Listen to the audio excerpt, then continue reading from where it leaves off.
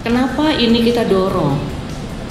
Karena sebetulnya pada saat pandemi terjadi, kita melihat pertumbuhan dari ide bisnis baru ini meningkat karena anak muda ini mempunyai kemampuan untuk mengimplementasikan teknologi-teknologi baru dan juga digitalisasi. Jadi lebih ke teknologi terapan dan juga yang berbasis teknologi eh, digitalisasi. Jadi ini bagus sekali.